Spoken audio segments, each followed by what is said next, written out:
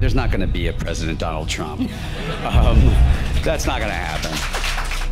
Raise your right hand. Vote for Donald Trump tomorrow.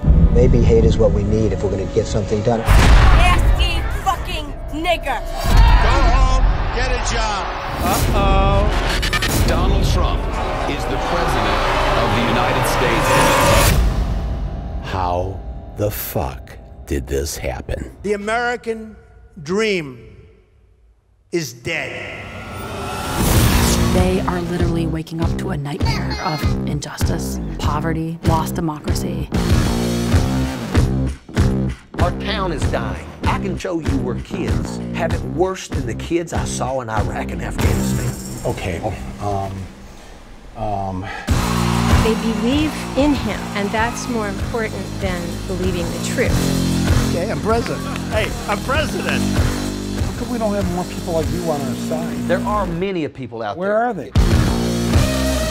If nobody's gonna do it, then I gotta do it.